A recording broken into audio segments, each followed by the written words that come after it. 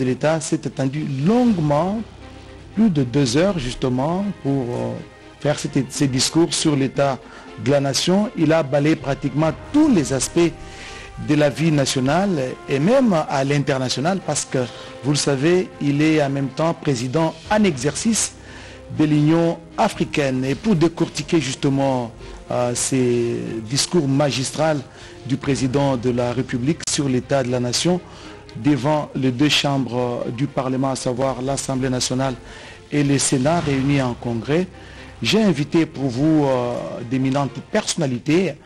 Euh, j'ai invité un habitué justement de ces plateaux, le professeur André Mbata, qui est député national, euh, en même temps professeur des universités, les professeurs de droit constitutionnel. Professeur, bienvenue. Merci de m'avoir invité. Et juste à, sa droite, j'ai l'honneur de recevoir pour vous Guillaume Modimola Miande, il est analyste politique. Bienvenue sur ce plateau. Merci, monsieur Oscar. Et à la droite, justement, de Guillaume Modimola, euh, j'ai invité pour vous monsieur Jean-Pierre Wafouana. Il est directeur adjoint de la cellule de communication au cabinet du président de la République. Bienvenue également. Merci euh, de m'avoir invité. Professeur Mbata, euh, première question, si tu nous un peu le cadre de ces discours sur l'état de la nation par rapport à la Constitution. Euh, merci. Je dois dire que le discours qui a été prononcé hier par le président de la République, chef de l'État, c'était un grand discours et il répondait en fait à une obligation constitutionnelle. Et nous parlons du président de la République, chef de l'État. Nous parlons également de la nation. Bon, ici, il est peut-être important de souligner, parce que je sais que vos, vos, émissions ont parfois aussi un caractère pédagogique. Tout à fait. C'est le président de la République démocratique du Congo qui s'est exprimé hier et pour ceux qui lisent et les habitués de la Constitution, ils vont découvrir que c'est environ 16 fois que le mot République démocratique du Congo... Ah, 16 fois Au moins 16 fois, il est répété dans la Constitution. D'accord. Le président de la République, plusieurs fois dans la Constitution. Chef de l'État, c'est deux fois dans la Constitution. L'article 69, il est le chef de l'État. Et l'article 163, qui dit la Cour constitutionnelle et le juge pénal du chef de l'État. C'est deux fois seulement dans la Constitution. Et s'agissant du discours... Le juge pénal du chef de l'État et du Premier ministre. Et du Premier en ministre. Fonction. en fonction. Ici, je parle du chef de l'État. Le nombre de fois qu'il est répété dans la Constitution, c'est deux. D'accord. Article 69 et article 263. Maintenant, nous parlons du discours, des messages. Ici, il y a un certain nombre de dispositions qui font allusion au, message du chef de l'État. Il y a l'article 77 dont nous allons parler. Et parce que là, au terme de l'article 77, le président de la République communique avec le deux chambres par les messages qu'il fait lire et qui ne donne lieu à aucun débat. Le président de la République a également, la Constitution l'oblige, de prononcer d'autres messages, notamment l'article 85. Mm. Lorsque l'état de siège ou l'état d'urgence a été proclamé, il en informe la nation par un message. C'est l'article 85. Il a proclamé ça au mois, au mois de, de mai 2021. Oui, et la nation avait suivi ce discours-là. Un autre article, c'est l'article 143 de la Constitution, qui oblige le chef de l'État, lorsque la guerre est déclarée, il en informe également la nation par un message. Mais ce qui s'est passé hier, c'était un discours sur l'état de la nation. Dans la, Constitution... c'est l'article 77. Et 119. La Constitution n'en parle que deux fois. Donc c'est un discours particulier. Alors qu'ailleurs, on vous parle des messages, il peut en adresser autant qu'il veut, dans d'autres circonstances. Mais le discours sur l'état de la nation tel qu'il a prononcé hier, c'est seulement dans deux dispositions constitutionnelles, article 77 et article 119. Eh bien, c'est lui qui s'est exprimé, c'est, comme le dit l'article 69, il représente la nation. Et, si vous suivez également l'article 74, vous savez que le président de la République, avant d'entrer en fonction, il prête serment. Il jure devant Dieu et la nation. Et donc, c'est le représentant de la nation. C'est celui qui, avant d'entrer en fonction, a juré en toutes circonstances de défendre l'unité nationale, l'intégrité du territoire national, de ne ménager aucune force pour défendre les biens communs, c'est celui-là qui vient chaque année au moins une fois par an, qui vient rendre compte. Donc en tant qu'institution, président de la République. Président de la République. Donc il est venu rendre compte. Et lui seul peut le faire. Il est venu rendre compte à la nation dans toute sa diversité. Vous avez vu hier. Et l'opposition était là. Et la majorité était là parce que c'est lui qui parlait, ce n'était pas tout le monde a acclamé. Tout le monde a acclamé, c'est opposition, la nation dans toutes ses composantes. Le chef de l'État est venu donc rendre compte tracer le chemin qui a été couru, que nous avons fait jusque-là. Et le chef de l'État, il a, heureusement qu'il a des épaules suffisamment larges. Parce qu'il porte nos espoirs. Nous allons il revenir, porte également ses inquiétudes. Donc, il est venu, le chef de l'État, rendre compte à la nation et dire à la nation qu'est-ce qui a été au cours de l'année et qu'est-ce qui reste à Il faire. a des épaules larges. On va y revenir, professeur Mbata. Euh, Guillaume, euh, vous avez suivi, vous étiez dans la salle, je vous ai vu avec un macaron. Vous étiez parmi euh, euh, la- l'assistance, justement, qui a suivi religieusement les, les discours sur l'état de la nation prononcés par le président euh, de la République en. Comment vous avez trouvé les chefs de l'État? Comment vous avez apprécié ces discours euh, et quelles sont les thématiques qui vous ont le plus touché? Merci beaucoup. Le président est allé dans, cette tradition constitutionnelle, pour ne pas répondre le professeur Mbata qui a parlé de l'article so- 77. Il a brossé euh, euh, le bilan de l'exercice 2021. C'est comme ça qu'il vient le faire qu'au mois de décembre, les, les derniers mois de l'année. C'est en ce mois-là qu'il euh, brosse l'état de la nation de janvier à décembre. Un bilan euh, peu reluisant.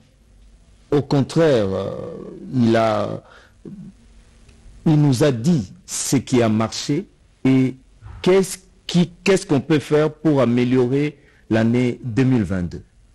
Vous partagez les mêmes avis, euh, euh, directeur Mofana. D'abord, j'aimerais dire que euh, le discours que nous avons suivi hier de la part du chef de l'État était un discours assez ouvert, simplement parce qu'il il a brossé pratiquement un tableau où il a repris tous les sujets qui concernent les Congolais. Euh, il faudrait que vous vous rappeliez que euh, lorsqu'il s'adresse en, en- en ce genre de circonstances au- au- à la nation, il a devant lui euh, les députés, il a devant lui les, Les sénateurs. et donc les représentants du peuple. Et donc à travers eux, c'est toute la nation qui écoute son message. Et dans ce message, il a abordé plusieurs sujets euh, touchant euh, l'économie, euh, touchant la sécurité euh, euh, nationale, euh, touchant euh, euh, évidemment euh, des questions qui sont très liées aux préoccupations de la population et euh, euh, comme par exemple le panier de la ménagère. Donc il a pratiquement euh, touché à tout.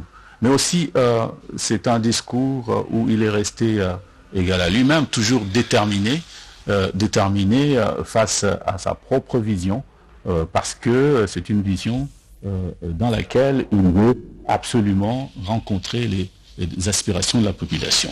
Mais dans ce discours, on a aussi constaté euh, qu'il euh, qu'il était très exigeant.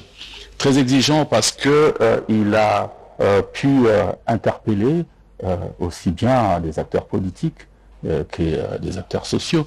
Hein. donc euh, pour leur dire que bon voilà, euh, il y a des choses qu'il va falloir améliorer, il y a des, Des choses qu'il va falloir faire. Il y a des choses qui... Mais aussi, il est resté très proche justement de, de la population, euh, comme il l'a toujours été, donc à l'écoute de la population. Et c'est en fonction de ça justement qu'il a pu élaborer son, son discours. Les garants de la nation, c'est tout à fait normal qu'il soit proche de la population. Euh, professeur Mbata, dans euh, son discours, le président de la République a pris un certain nombre d'engagements. Notamment, il a invité la population, les autres institutions à accompagner la CENI, n'est-ce pas? La Commission électorale nationale indépendante, qui est une institution d'appui à la démocratie. Comment euh, pensez-vous euh, cet accompagnement vis-à-vis de la CENI euh, Parce qu'il invite d'autres acteurs à accompagner la CENI. Comment ces acteurs doivent-ils accompagner la Commission électorale nationale indépendante qui vient de, dont les bureaux viennent de s'installer il n'y a pas longtemps? Bon, ce qu'il faut dire, je le disais tout à l'heure, d'abord parlant de la Constitution, c'est que vous voyez comment le chef de l'État tient à tout moment au respect de la Constitution. Parce que je, voulais bien dire comment ce discours a une assise constitutionnelle. Il y tient. Et euh, s'agissant, de- c'est un discours de deux heures. Je crois que le directeur Enfant l'a dit, c'est un discours de deux heures il nous sera pratiquement difficile dans les, détails, et vos téléspectateurs comprendront que nous n'allons nous focaliser que sur certains points à partir des questions que vous allez nous poser parce qu'effectivement, il y a beaucoup de choses à dire. Donc, le chef de l'État, ici, donc le garant de la nation, il a parlé des élections. Et il a parlé de la CENI. Et pourquoi est-ce qu'il a parlé des élections de la CENI Parce que le président de la République, Félix Tshisekedi, il tient, il a été élu sur base d'un principe ou d'une promesse du respect de l'état de droit dont on parlera peut-être tout à l'heure aussi.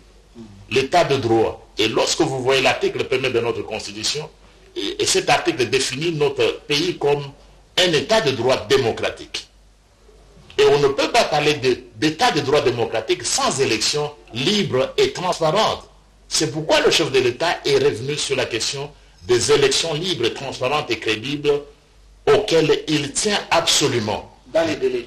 Dans les délais constitutionnels. Je pense, euh, personne mieux que lui, il n'y a personne de si déterminé à aller aux élections que le président Félix Tshisekedi. Et pour le faire, vous n'arriverez pas aux élections libres, transparentes et crédibles dans les délais constitutionnels sans la Commission électorale nationale indépendante.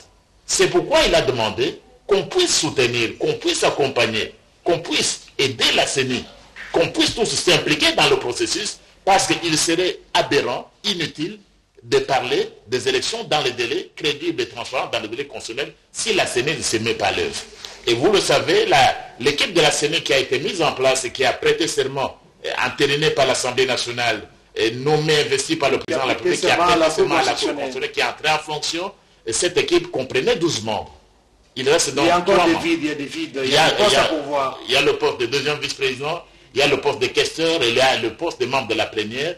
Eh bien, le chef de l'État a appelé l'opposition, l'opposition à venir, à prendre sa place au sein de la CENI parce que nous ne pouvons pas aller sans élection. Et pour nous, et pour le président de la République, il ne peut pas y avoir de démocratie sans, opposition. C'est pourquoi le président de la République se préoccupe tant aussi de l'opposition, effectivement, comme père de la nation, et qui ne peut pas être jubilé dans deux composantes, majorité-opposition. Donc, il a parlé de la CENI, et je crois là-dessus, il a été relayé par le président de l'Assemblée nationale, l'honorable Christophe Mbosso, qui a déjà fait publier un calendrier et qui court encore jusqu'à aujourd'hui, nous sommes mardi, eh bien, l'opposition a jusqu'au demain mercredi pour venir déposer la liste de ces trois et, et au cas contraire, si jamais, parce que j'ai lu le communiqué euh, d'un des membres de l'opposition, donc du Parti du Peuple, la Réconciliation et la Démocratie, qui dit n'avoir pas, pas désigné des candidats aux postes à pouvoir, à différents postes à pouvoir. Et non, là, nos amis doivent voir le texte. Et vous aussi, les journalistes, vous devez les aider.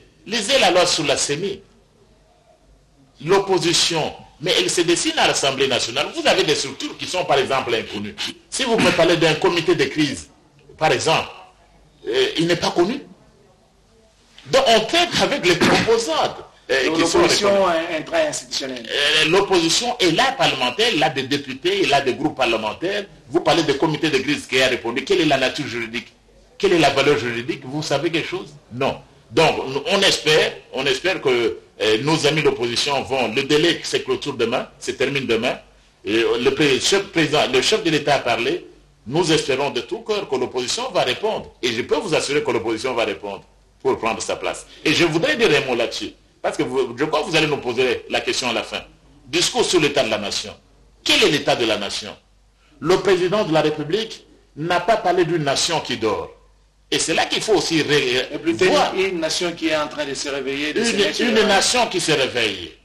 il a montré sa détermination, plus que jamais déterminée. Mettre fin à l'insécurité à l'Est. Vous avez, nous avons commencé par quoi? Une minute de silence pour, pour nous mater de l'Est. Donc, le président Félix Tshisekedi est plus, et nous tous d'ailleurs, plus que jamais déterminés à mettre un terme à l'insécurité à l'Est de notre pays. Professeur Mbata, on va en parler de l'insécurité après. Revenons d'abord sur euh, les questions électorales le chef d'État a invité la classe politique, n'est-ce pas, à soutenir, à accompagner la CENI, mais n'a pas parlé des séquences, des différentes séquences des cycles électoraux en cours.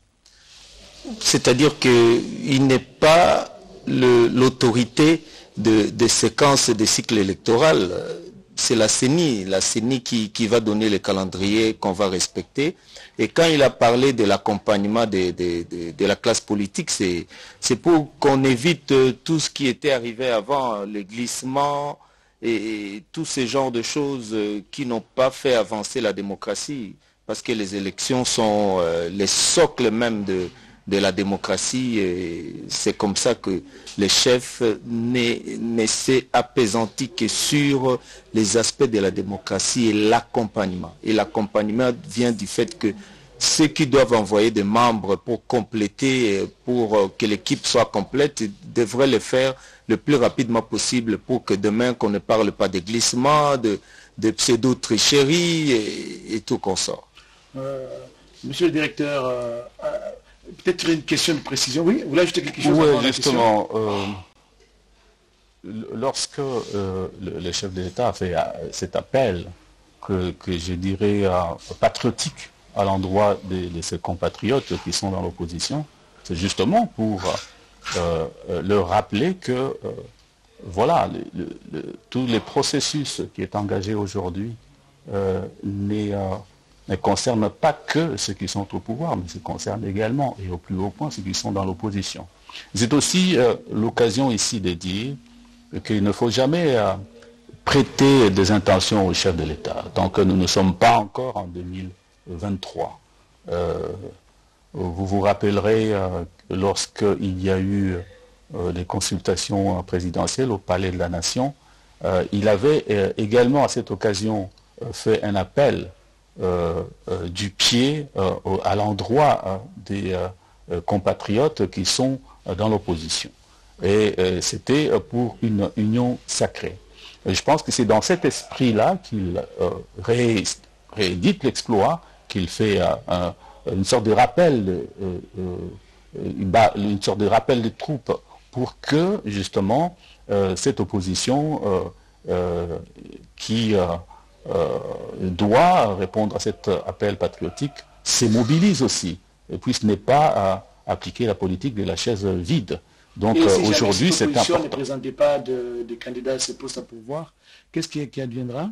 Mais je, sens que le professeur Mbat est très convaincu que quoi qu'il en soit, quoi qu'il en coûte, demain, comme c'est le deadline, la date limite, il y aura des noms qui seront présentés.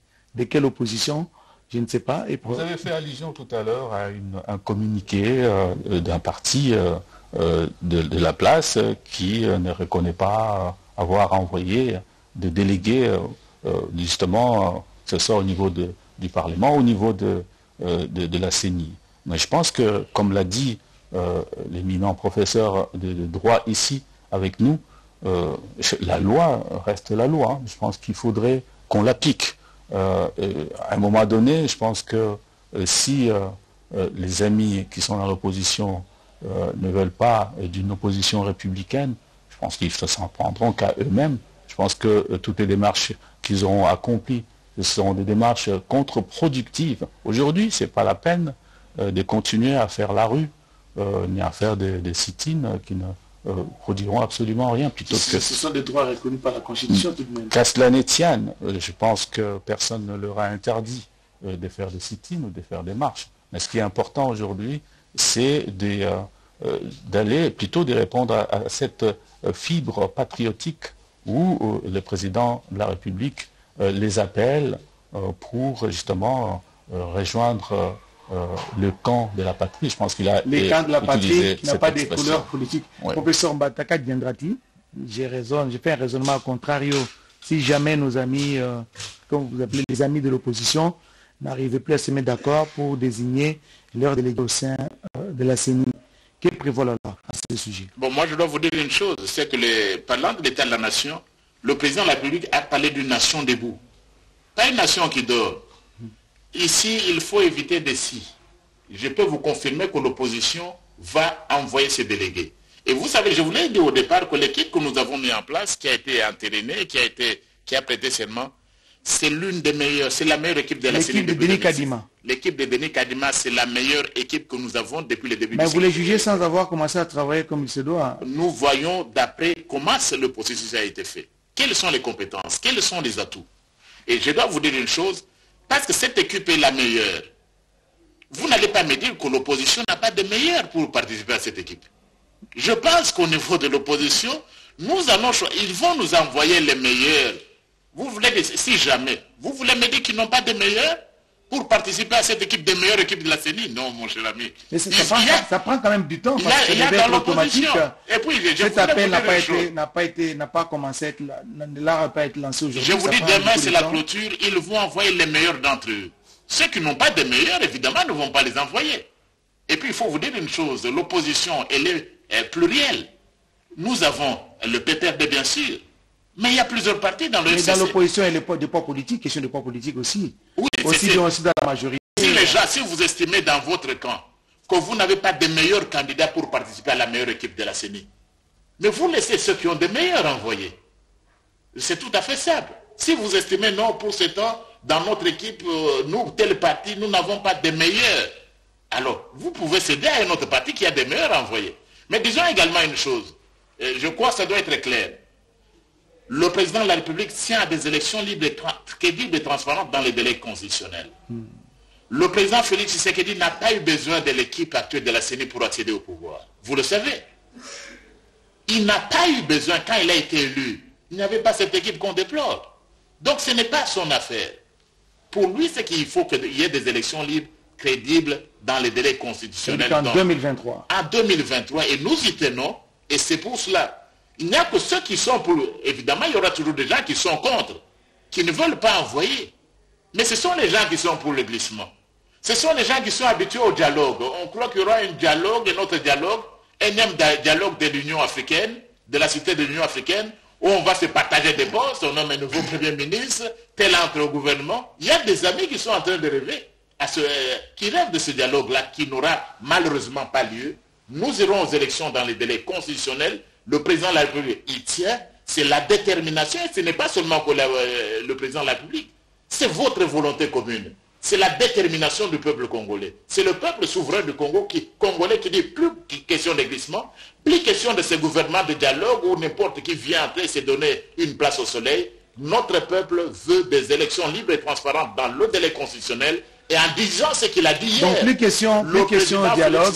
N'a fait que traduire la volonté de son peuple et la volonté de la nation tout entière. Merci, professeur Mbata. Je pense que votre message est suivi. Plus question de dialogue. Euh, euh, Guillaume, nous allons aborder notre sujet parce que nous devons avancer.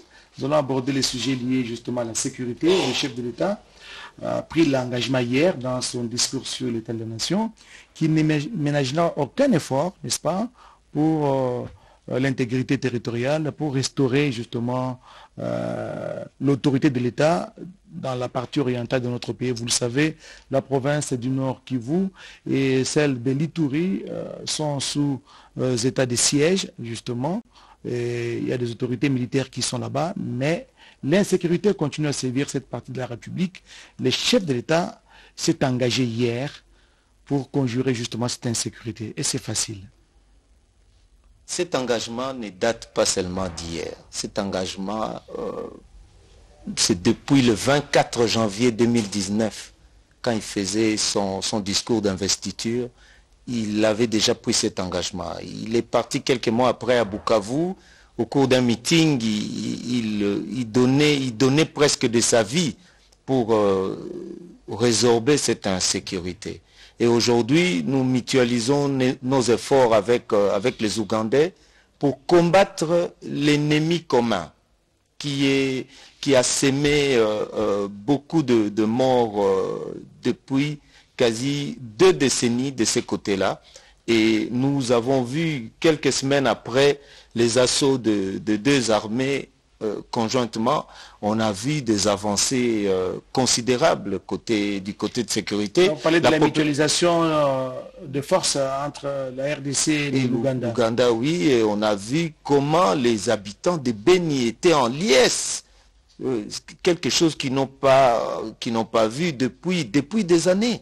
Ils, ils sont sortis, il y a des familles qui étaient cachées dans des forêts, euh, qui sont revenues euh, dans les grandes villes à cause de, de, de- de- de cette mutualisation des efforts euh, entre l'armée ougandaise et l'armée congolaise. Et euh, je vous dis que les jours, les jours qui viennent seront encore des jours meilleurs par rapport à, la, sécurité du côté de l'Est de notre pays. Mais à suivre le président de la République, il a quand même émis une certaine crainte. Il a dit qu'il va limiter dans les temps la présence des troupes ougandaises sur le sol congolais. Et pourquoi limiter dans les temps? Mais c'est tout à fait euh, justifié, parce que bon, euh, euh, vous savez, sous le commandement suprême du chef de l'État, les FARDC n'ont pas attendu l'armée ougandaise pour accomplir des avancées significatives à l'est du pays. les gens ont tendance à oublier que d'abord le chef de l'État, dans sa volonté de mettre un terme à cette insécurité dans l'est du pays, a d'abord établi euh, un état-major général avancé euh, du côté euh, de l'Est. Mais pour être quand même sincère, les pilonnements de position des ADF avec des bombardiers, des J'en arrive. avec l'avènement J'en arrive.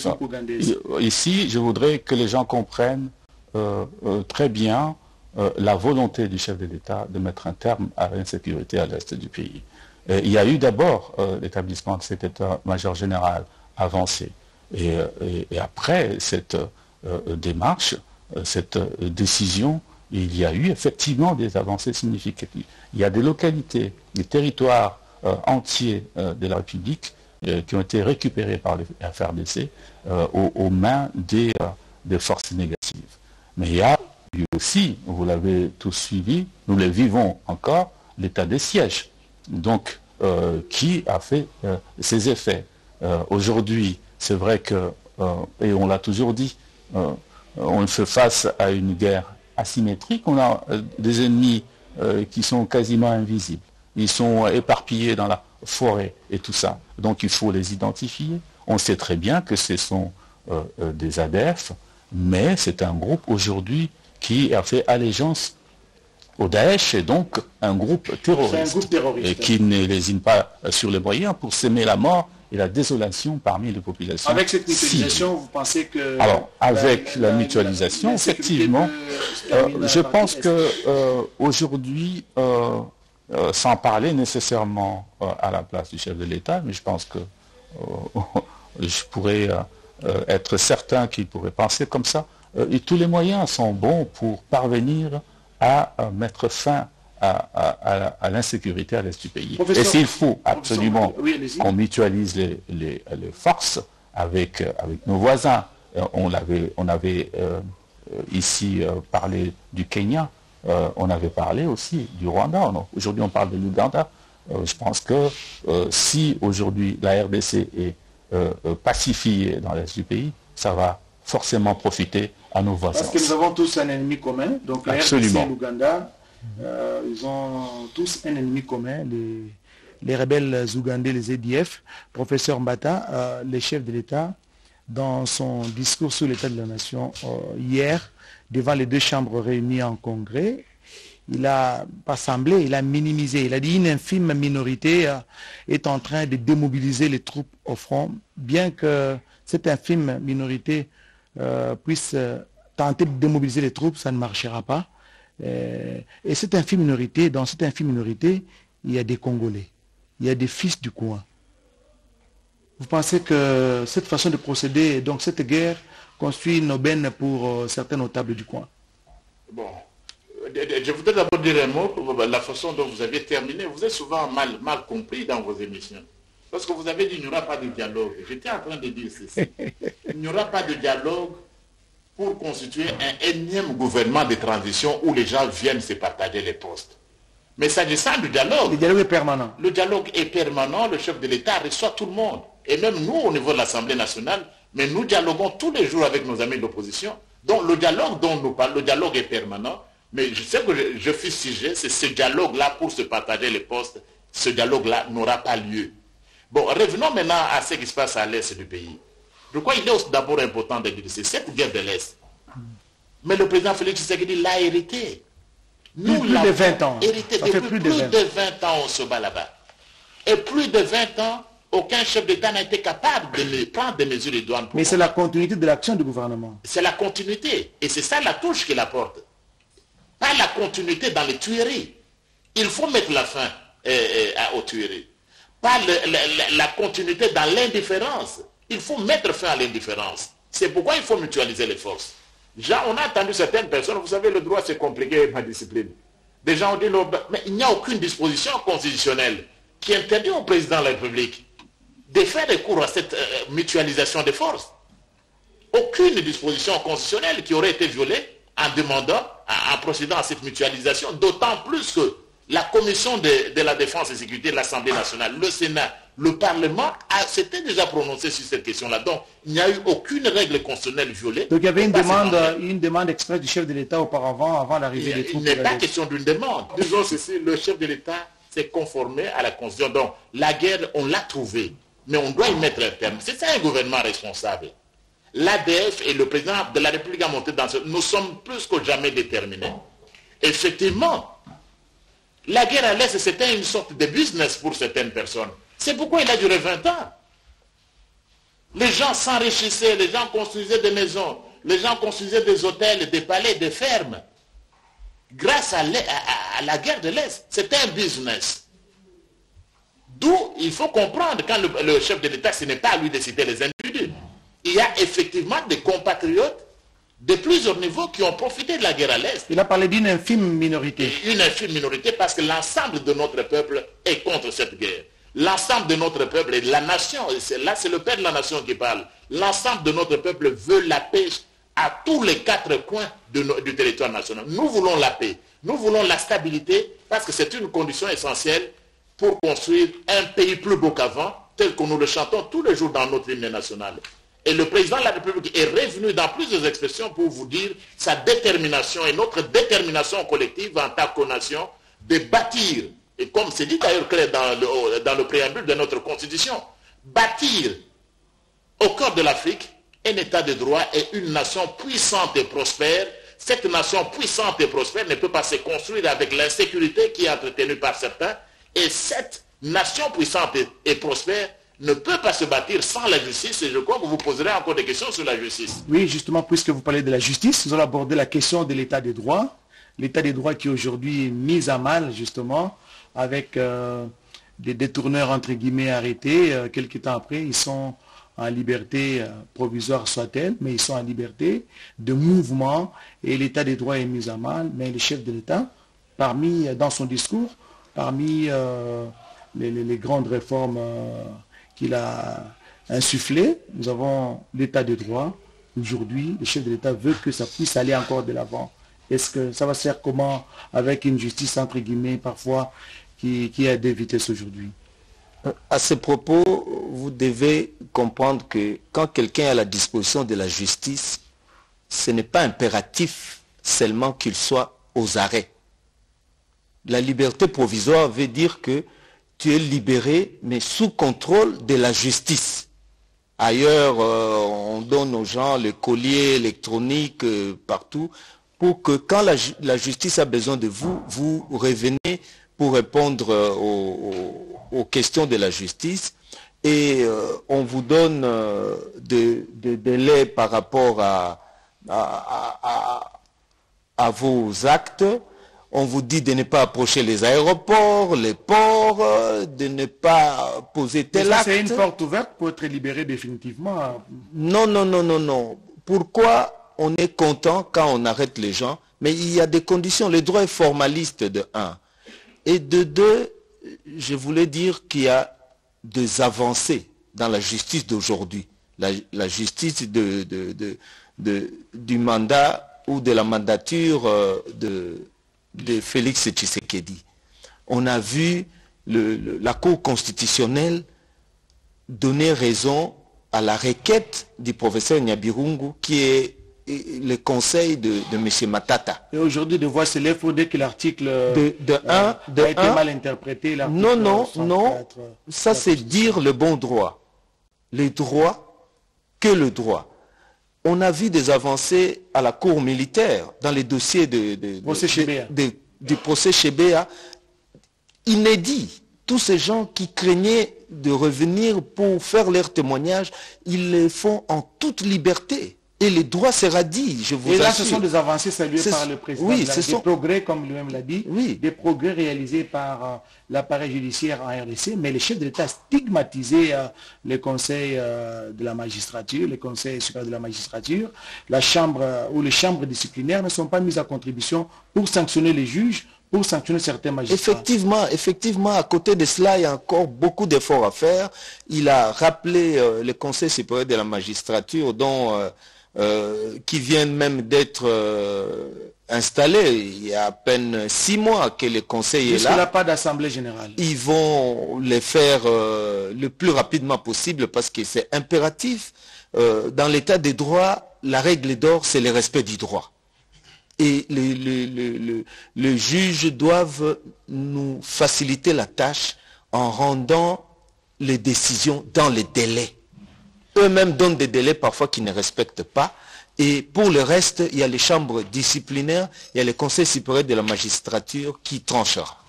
Oui, euh, oui, oui, euh, directeur euh, Wafwana. Oui, ce que je retiens ce- à ce sujet-là. À ce sujet, justement, en deux mots, en deux mots, ouais, il faut changer de tête, le- justement. Le, chef de l'État euh, s'est toujours inscrit dans une dynamique, c'est celle euh, de réforme de l'appareil judiciaire. Et, mais aussi, il a toujours clamé haut et fort qu'il ne va jamais interférer dans les décisions judiciaires. Il a proposé, il a dit qu'il lorsque faut des hommes qu'il faut des à, la, parler- à la place qu'il faut. Il a insinué qu'il faut changer de tête. Mais c'est- ça, ça- rentre la- dans les cadres de supérieur de magistrature. hein, euh, euh, qu'il appelle de ses voeux. Maintenant, euh, j'insiste sur le fait qu'il a toujours euh, euh, clamé haut et fort qu'il n'interférera jamais dans les décisions judiciaires. Et quand j'entends des gens dire, ah oui, voilà, mais euh, euh, tel a été libéré, tel a été euh, relaxé, etc., mais cela ne devrait pas être associé au chef de l'État, parce qu'il n'a rien à voir dans les décisions rendues par la justice. Professeur Mbata, est-ce que vous pensez qu'on puisse faire, il est possible aujourd'hui de faire du, du neuf avec du vieux?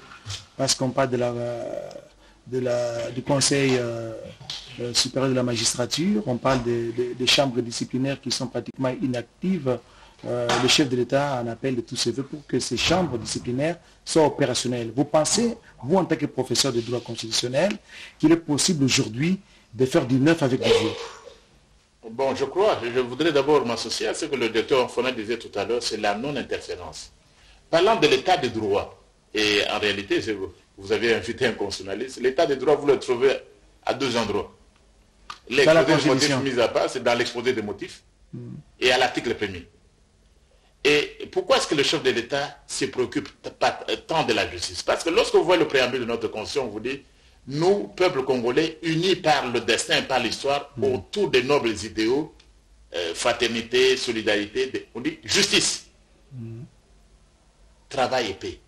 Et vous retrouvez également, vous voyez la devise de notre pays, à l'article premier, la devise du Congo. Quel est le premier mot dans la, dans la, dans la, dans la constitution de la devise? C'est la justice. La justice. C'est pourquoi il se préoccupe de la justice. Et lorsque vous allez à l'article 149 sur le pouvoir judiciaire, et je rejoins ce qui a été dit, on dit le pouvoir judiciaire est indépendant.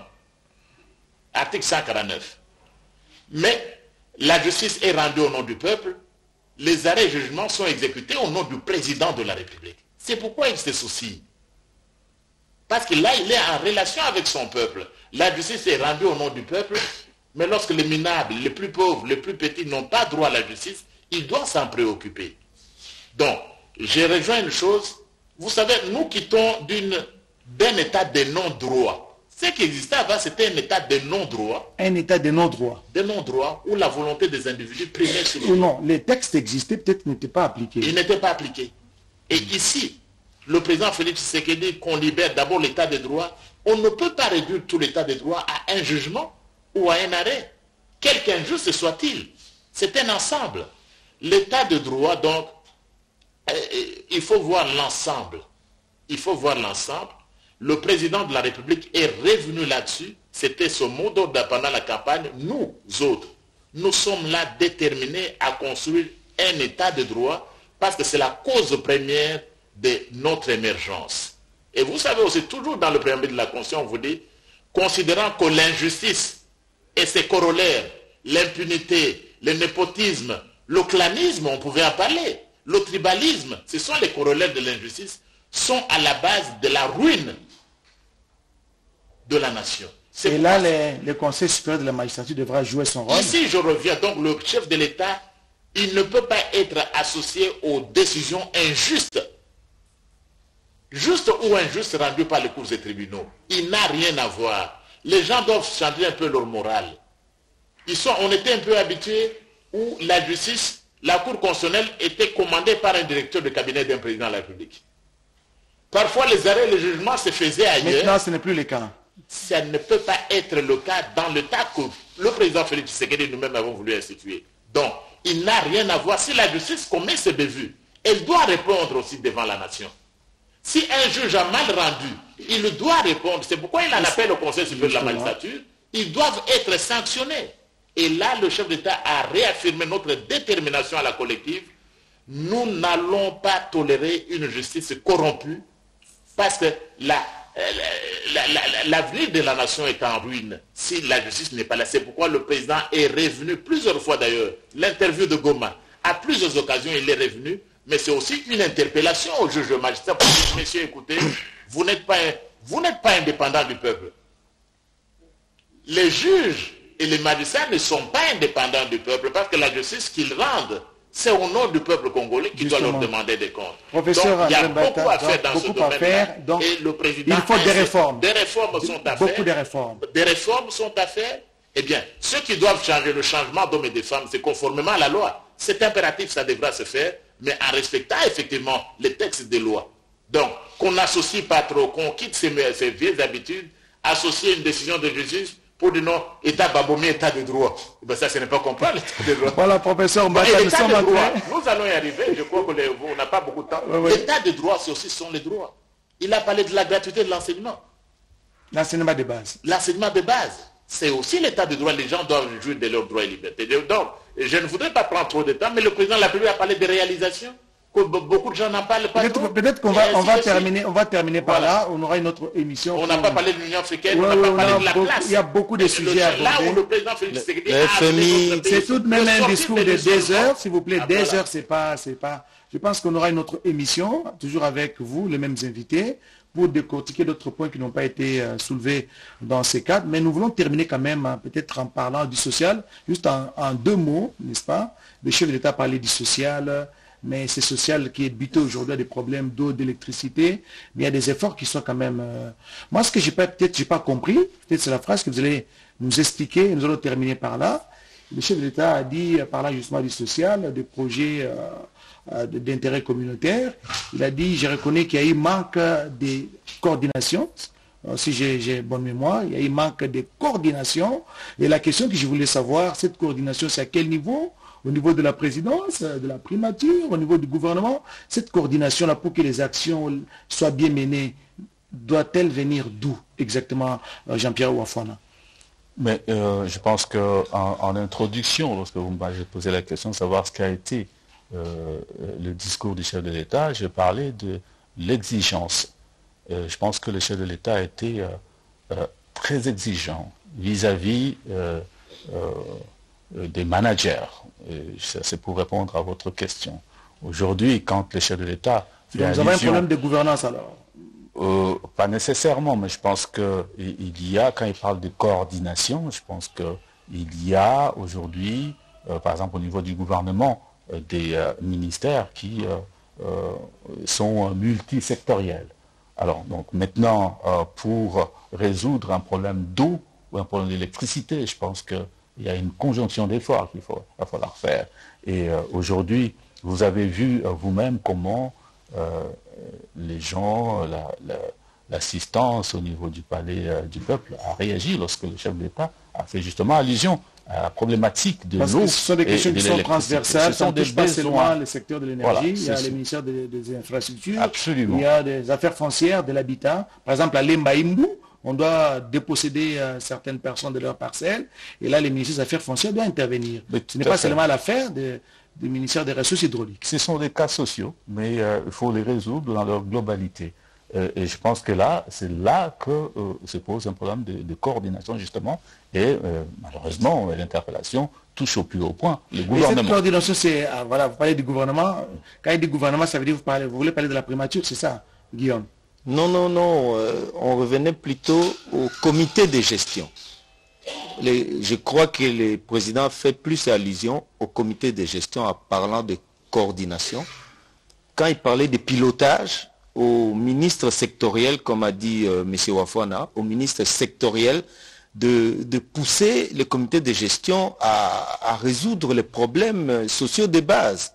On a vu à Kisangani euh, quatre mois sans courant, et il a fallu une fois encore... au niveau d'une des, trois turbines qui construisent la centrale de la Chopo. Oui, mais le, manager, comme a dit M. Wafana, ils sont, ils sont là pour trouver des solutions, ne serait-ce que des solutions intermédiaires. Il faut il, faut des solutions aux problèmes du peuple. Un peuple ne peut pas rester quatre mois sans courant. Il a fallu que, la première dame passe par là pour booster encore et quelques jours après... Même qu'elle n'est pas Kisangani, les, pièces étaient en reconditionnement aux ateliers centraux des, des d'Alikassi. Professeur Mbata, euh, manque de coordination. Bon, le président Labé a parlé du social. Et vous sentez comment un président Labé peut être proche de son peuple? Il a même répété la phrase, on lui demandait 10. Hmm. C'est pour montrer comment il communique. Vous avez un président qui connaît les problèmes de son peuple et qui s'en préoccupe. Et le social, il a interpellé tout le monde. On ne peut pas... Le gouvernement est interpellé. Parce qu'on doit rendre compte. Mais aussi l'Assemblée nationale à laquelle j'appartiens. Mais nous devions interpeller ces gens. Les membres du gouvernement, des, des entreprises publiques. Ce n'est pas la responsabilité du président de la République les PDG, ils doivent faire leur travail. Parce que le président a démontré qu'il y a moyen de faire beaucoup de choses en termes d'eau, en termes d'électricité. Il y a moyen de faire, de satisfaire les conditions de notre, les améliorer tant soit peu les conditions de vie de notre peuple. Et le président le fait. Donc il a tenu à interpeller. Et vous savez, mon cher ami, le leadership, c'est aussi reconnaître nos problèmes. Le discours du président de la République, Félix Tshisekedi, hier, ce n'était pas vous dire non, tout va très bien dans mon pays. Non. Je vous ai dit les épaules larges. C'est-à-dire, il porte les espoirs de son peuple. Il porte les problèmes de son peuple. Et il en propose des pistes de solutions. il en propose des pistes de solutions. Eh bien, à partir de ces discours, les managers sont interpellés. Vous ne faites pas votre travail. Vous ne servez pas le peuple. Vous, rappelez-vous, j'appartiens à un parti dont la devise est le peuple d'abord. Et le président c'est l'UDPS. C'est l'UDPS, c'est mon parti. Si vous n'êtes pas là pour servir le peuple et vous servez vos intérêts, votre place n'est pas là. C'est une interpellation tout simplement. Le gouvernement a beaucoup fait, le gouvernement est en train de faire, mais c'est que le président a dit, on doit faire mieux parce nous ne sommes pas encore arrivés là-bas. Il a parlé des routes, il a parlé des ponts, des routes qui sont en train d'être construites.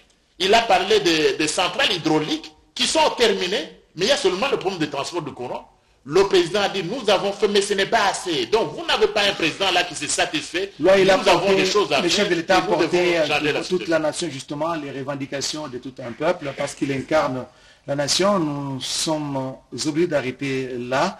Euh, Jean-Pierre Wafouana, un, petit mot avant de nous séparer, 30 secondes seulement. Oui, juste euh, pour ajouter à ce que le professeur a dit tout à l'heure concernant le, euh, les besoins élémentaires de, la population. Mais je pense que le, chef de l'État, effectivement, euh, c'est quelqu'un qui euh, a toujours été à l'écoute. C'est quelqu'un, on peut dire aujourd'hui, et on le reconnaît, que c'est la personne la mieux informée de, cette nation. Je pense qu'il n'est pas en déphasage avec ce qui se passe à la cité, que ce soit à l'arrière-pays. Donc aujourd'hui, euh, on peut comprendre aisément que euh, si il a pu euh, interpeller ses collaborateurs, on va dire, que ce soit au niveau du gouvernement, au niveau des entreprises publiques, et je pense qu'il est à même de poursuivre cet effort et de façon à ce que les personnes qui ont été interpellées puissent faire, euh, faire leur travail comme il se doit. Euh, et, j'espère, j'espère qu'ils ont entendu euh, ce message-là et qu'ils vont, vont s'appliquer tout simplement. Guillaume, pour terminer, Le, président Tshisekedi a porté haut la voix de l'Afrique, la voix du Congo partout. On a vu euh, les retombées à Glasgow, au G20, euh, partout. Et dernièrement, le FMI est arrivé la semaine passée. On a eu les appuis budgétaires de 4 milliards 500 millions de dollars. C'est un record. Non, les appuis budgétaires du FMI, c'est 1,5, donc 1 milliard et demi, justement pour les appuis à la, et puis les appuis à la balance de paiement et les appuis aux réserves d'échange, les appuis budgétaires. Donc le total, ça fait plus ou moins 3, milliards. Et l'ensemble euh, d'appui que le chef de l'État a reçu de ces voyages, c'est 4 milliards et demi. Exactement. Allez-y. Exactement. Vous voyez que euh, le, déplacement du chef de l'État, ce n'était pas euh, pour la beauté des avions, c'était plus pour ramener euh, des solutions à son peuple. Et on ramener des solutions à son peuple, c'est ce qui a été fait. Professeur Mbata, 30 secondes. Parce qu'il y a beaucoup de sujets qu'on n'a pas abordés. la politique internationale, nous reviendrons. Nous reviendrons pour parler de ça. On va parler des différents voyages du chef de l'État. Oui, je ne sais pas si le pot de banane avec un milliard de dollars, c'est comptabilisé. C'est un milliard point trois, c'est pas comptabilisé avec DP World. Bon, disons ceci, celui qui a parlé hier, c'est le, le représentant de la nation, le père de la nation.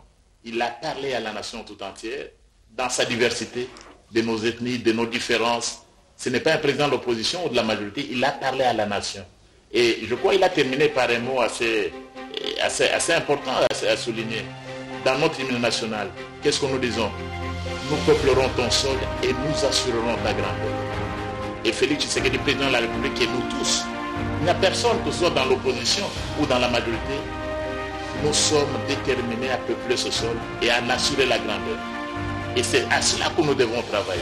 Et le président Félix Tshisekedi est arrivé au pouvoir pour qu'il y ait un Congo plus beau qu'avant et pour qu'on continue à qu'on travaille durement à en assurer la grandeur. Des choses n'ont pas été faites, il a reconnu.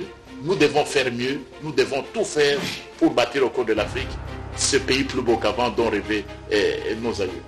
Donc travailler pour euh, bâtir ces pays plus beaux qu'avant, donc travailler pour la grandeur de la République démocratique du Congo, beaucoup de sujets euh, abordés par le président de la République lors de son discours sur l'état de la nation n'ont pas été évoqué dans cette tranche d'émission, de temps c'est le temps. Je pense que je vous recevais dans un autre, dans sur un autre plateau justement pour aborder des questions liées par exemple à la diplomatie qui ont été abordées par les chefs de l'État, des questions liées justement aux différents voyages du président de la République et d'aucuns considérés comme état du tourisme, mais les retombées sont là. Mesdames, Messieurs, il ne me reste qu'à dire sincèrement merci à mes invités, merci d'avoir répondu à notre invitation. Merci surtout à vous tous qui nous avez suivis. Rendez-vous au prochain.